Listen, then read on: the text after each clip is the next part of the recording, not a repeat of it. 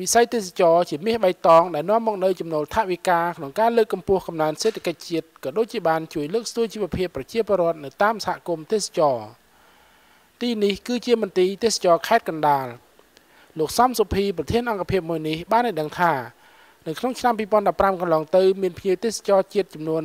ជាង1លាននាក់មកទស្សនានៅតាមរមណីយដ្ឋាននានាក្នុងខេត្តកណ្ដាលបើធៀបទៅនឹងឆ្នាំ2014កន្លងទៅមានការកើនឡើងចំនួន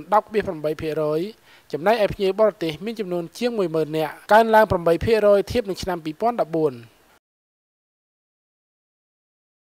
លោកសំសុភីបានឲ្យដឹងថាខេត្តកណ្ដាលមានរមណីយដ្ឋានជាច្រើនកន្លែងទាំងរមណីយដ្ឋានលក្ខណៈធម្មជាតិសាសនាប្រវត្តិសាស្ត្រនិងរមណីយដ្ឋានកែច្នៃ ព្រមទាំងបានខិតខំជំរុញនិងអភិវឌ្ឍសម្បត្តិទេសចរឲ្យមានការរីកចម្រើនលោកសំសុភីបានអំពាវនាវសូមឲ្យប្រជាពលរដ្ឋយកចិត្តទុកដាក់ក្នុងការថែរក្សាអនាម័យនិងបរិស្ថានឲ្យបានល្អដូចជាការទុកដាក់ស្កាកសំណល់សម្រាមក្នុងធុងឲ្យបានត្រឹមត្រូវកុំបោះចោលសម្រាមតាមទីសាធារណៈនាំឲ្យបាត់បង់សោភ័ណភាពក្រុង។ជោគជ័យទីក្រុងស្អាតជោគជ័យទេសចរ